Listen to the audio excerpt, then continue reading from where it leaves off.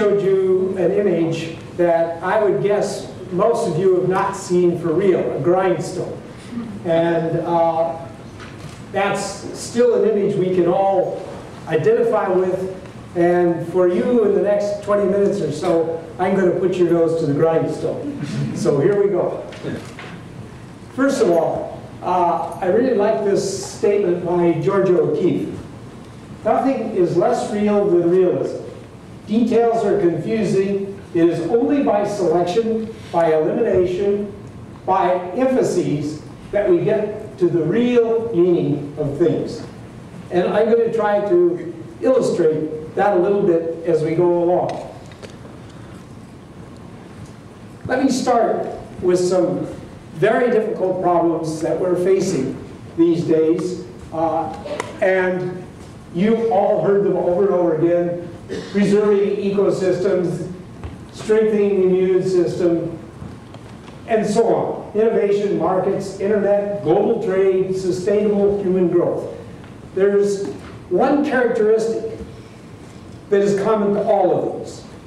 They all involve a lot of individuals, we usually call them agents to keep a kind of neutral background because they may be antibodies in the immune system, they may be species in an ecosystem, so we just call them agents. And the two key things are, not only do they interact, but they learn as they interact. So, in reality, these systems, they never settle down. So, we're going to be talking about adaptive agents who compete and interact, and we're going to be talking about networks of these agents. Every one of the systems I was talking about before involves networks. And here it may be helpful to think of one of these everyday things that we hear about all the time. Think of an equities market or a stock market where there's buying and selling going on all the time. Key thing here is that the individuals, the agents, create that market. But there's also what we would call an aggregate effect in that market. We sometimes record this as the Dow Jones or something like that. And these two things affect each other simultaneously. If I hear the Dow Jones is going up today, then I'm likely to decide, well, it's going up, but it won't tomorrow, so I'm going to sell. Or I can decide I will sell. And different agents will make different decisions based on what is happening to the whole system. So First of all, we have conditional interactions. If the market's going up, then I will do something. That kind of thing, from the point of view of a mathematician, makes this system non-additive. The whole really is more than the sum of the parts. A little too fast. And as I say, the aggregate influences the individual and vice versa. So, we're going to call this learning or change of strategy on the basis of experience. We'll call that adaptation. So agents learn on the basis of experience. And if you think about how a market evolves over time, all we have to do is look at this last couple of years. Or if we look at something like an ecosystem, time scales longer, but we see this tremendous diversity with new species appearing all the time. That's what we'd like to try to understand a bit better. And we call these things complex adaptive systems. So, what are some typical agents? Well, we've got, if we're looking at the ecosystem, then we've got the organisms. If we're looking at an economy, then there are the firms. If we're looking at the immune system, they're called antibodies. If we're looking at market, it's the traders. Here's what makes these systems both interesting and difficult. First of all, there is no such thing in a tropical forest as the best organism. Forest has tremendous diversity. A single tree in a tropical forest can be a host to 10,000 different species of insects. 10,000. It's just incredible. How do they all coexist? Okay? Or in a tropical forest, you can walk several hundred feet. We're not used to this in the temperate zone. Several hundred feet before you see the same species of tree twice. Okay. That kind of diversity is something that we have to try to understand. And of course, all of us as individuals have our own ideas, our own grindstones, and so on. Okay, so in these systems, innovation is occurring all the time. And this gets back to Steve's theme. Why and how? And finally, in these systems, anticipation, what we think is going to happen tomorrow, impacts what we're going to do today. And that doesn't require consciousness. Even something as simple as your gut bacteria, E. coli, will swim up a sugar gradient because it's wired in that food will be at the end of a sugar gradient. So anticipation doesn't require consciousness. Okay, why do we want to know more about these things? Well, mostly when we handle these systems, it's by trial and error. But if we knew more, we could do things in a more directed, more creative fashion. So we would have principled ways to discover vaccines. Now we do a little bit of that already. We know how the flu virus is going to change from year to year. We can anticipate that a bit. And so we do a bit of design on those vaccines. But by and large, most of the vaccines you hear about have been discovered by trial and error, not by an organized or principled process. Uh, locating the key species is a key element of sustainability. We have to find which species, if we pull them out, are like the keystone of the arch. The whole thing just tumbles in. Okay? Lever points, physical lever points, well, we know a lot now, or at least many of us do a lot more than we wanted to know about derivatives. But derivatives are physical lever points, we just didn't know what they were going to do. Not many of you will have heard of this astronomer, Eddington. But Eddington was an observer, not a theoretician. He was the one that first tested Einstein's theory of relativity and showed that it held. Notice, here's an experimentalist that's saying the contemplation in natural science of a wider domain than the actual leads to a far better understanding of the actual. Now, that says something then about imagination.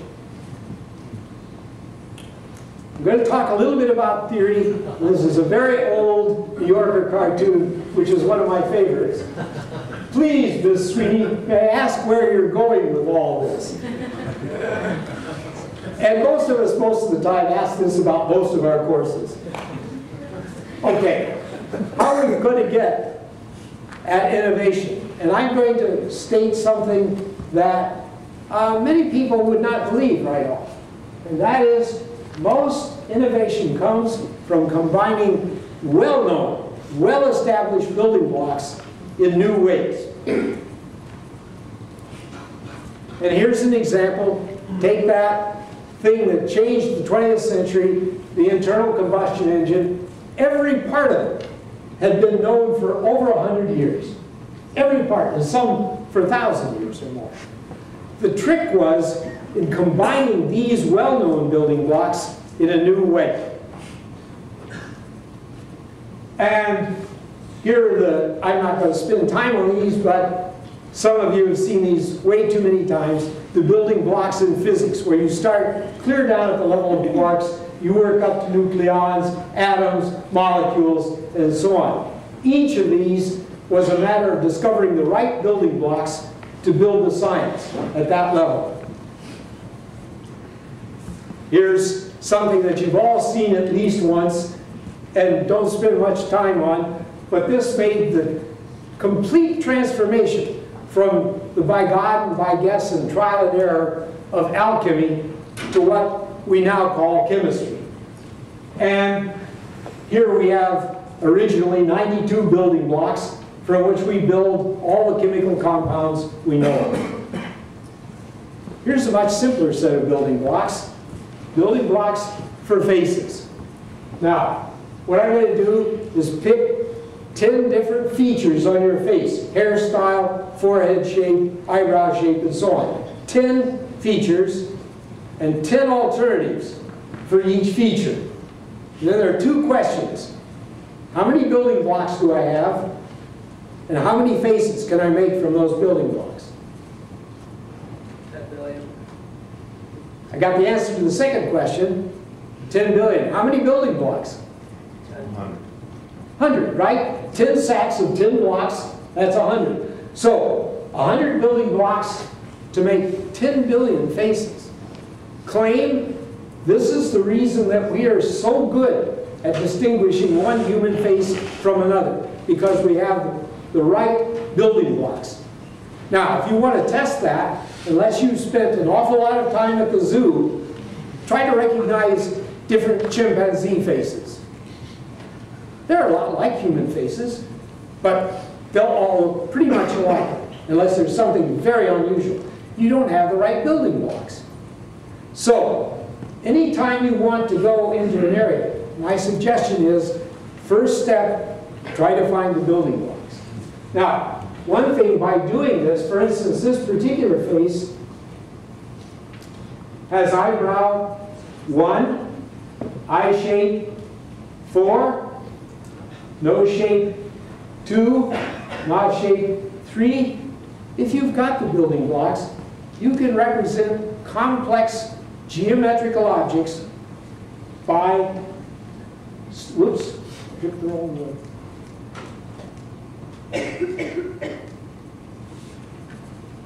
By a, s- a string. Hooray. So, claim to understand innovation, the creative, even the creative process, you have to find the right building blocks for the question or the thing you're trying to invent. And here is a small piece of genetics. You've probably read in textbooks or heard over and over again that the thing that drives the creative process of evolution is mutation. It is not. Point mutations in your chromosome occur about 1 in 10 million times. Almost none of you are carrying mutations unless you got them from further back. Crossover, the reason part of you comes from one parent and part of you comes from another, occurs in every individual, in every generation. So it's 10 million times more frequent. And look what it does. Here we've got these two strings. See if I hit the right button this time. This is a string of 10 digits that represented that face. Here's the string of 10 digits that represented this face. And these were done legitimately in those building blocks. Now I do crossover. Crossover takes these two strings, these two chromosomes, and simply exchanges the front end. Very simple. But look what you get. Two completely new, entirely different features. Faces and so on. That's the reason you look partly like one parent and partly like the other. And that's what we claim, or at least I claim, drives evolution. That's the main driver. Crossover, not mutation. Okay. Now, just a word along these same lines about language. This man, Fenollosa, wrote this in 1908. He was the first person, really, in the Western world. Up until his point in time, Chinese poetry was considered to be childish. Too simple, none of the clever things that go on in Western poetry. Fenollosa spent most of his life, he was at Harvard, showing that this was far from true, that in fact, from his point of view, Chinese poetry was much more subtle than Western poetry. One of his main points is that things are only the terminal points. They're the cross sections cut through actions. Now, just as a quick aside, the classical Chinese character for east is the sun rising behind a tree. And so Fenollosa's point was that when you look at Chinese poetry, you have to understand it from this point of view. That things are snapshots of actions. And the minute you start doing that, you get an entirely different interpretation. Now, here's something that's language-like, but pre-linguistic. And this has something to do, as I'll show you, with the notion of anticipation changing the course of a system. If you look at tribes of baboons, they're usually troops of 50 or more. And by experiment, we know that any baboon can identify the sound, the voice, if you like, of any other baboon in the troop.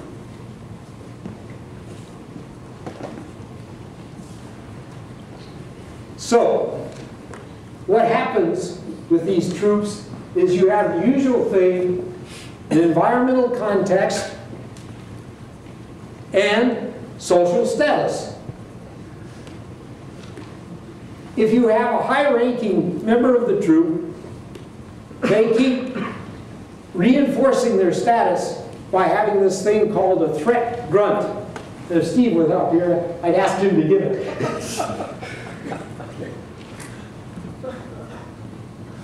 The way you respond so you don't get beat up is you scream. Okay? And that's the standard interaction. It goes on all the time, all the time. Now, in universities we have counterparts of that, and they go on all the time too. the thing that's interesting is if you twist this around so that the lower ranking female gives a threat grunt, and the higher rank screams. This doesn't happen very often in universities, but every now and then. Every member in that troop, even if they can't see what's going on, will suddenly gather around. Because this is something different that's going to change things in the troop if it goes on. And so they anticipate, because of this inverted order, that something really interesting is going to happen. Okay, back to building blocks. The reason that human language is powerful is because it offers us a standard way of combining utterances to make meaningful sequences of utterances. And this is just like the faces. If I have just 12 utterances here, I can put them together in 60 ways that are meaningful. If I change that to 20 plus 20 plus 20, suddenly I've got 8,000 triples that are meaningful. So again, what grammars do, this thing that we hated when we were in high school, is gives us standard ways of combining things to innovate, to describe situations that we haven't seen before. And that's the power. Okay, when we look at these complex adaptive systems, we have two big problems. One, I'll call theory of mind. And this involves being able to describe what goes on in our central nervous system in a way that lets us talk about the fact that we have a kind of autonomy. We can run things in our head independently, and Steve showed this with his three bells, independently of what's going on. We, and we know this, you know, it's hard sometimes to shut down your mind when it's running through these paths. So, the thing that you have to think of if you're going to talk about mind is that it is not, as psychology believed in the middle of the 20th century, it is not a behaviorist phenomenon. You cannot understand mind by simply watching current behavior. It is not stimulus response. It is somehow this ability to run models of the world internally. We see this most easily when we try to play a game. But we do it all the time. So that's one big problem that theory, this 1 plus 1 equal 2, should give us. Something that tells us what to look for there. The other thing that we see all the time, ecosystems, biological cells, human society, are these notions of boundaries and signals. If you think about language, we're talking about the tremendous number of dialects in the world and languages, and the ability to communicate within that group, and usually not so easily between groups. Why do these come about? Why do they persist? Given the universality of television, why isn't there one great universal language? Well, it's a lot like ecosystems. There are niches, and these niches are filled with particular needs, particular kinds of interactions. So, quick review. These complex adaptive systems are always dynamic. There are always signals flowing, always resources flowing. They're always novel. Boundaries are being formed and deleted all the time. And these are political boundaries, but they can be interaction boundaries, they can be the organelles in the cell, but they're changing all the time.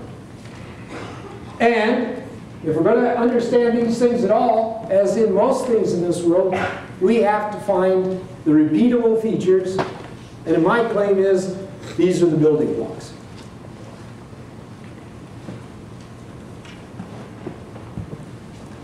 Theory, and there are lots of ways of talking about theory, but the main purpose of theory, from my point of view, is it tells you where to look, where to find the things. Theory is best constructed by using building blocks, and to find the building blocks, that's the big thing you hear all the time now. And part of the reason you hear it all the time is because of these complex adaptive systems, and that is cross-disciplinarity. Comparing across disciplines is a great help in finding building blocks. Something that may be obscure in one system, like an ecosystem, may be pretty obvious in a market system, and vice versa. So, main point, if you're going to do this stuff, you need to be cross-disciplinary. Thank you.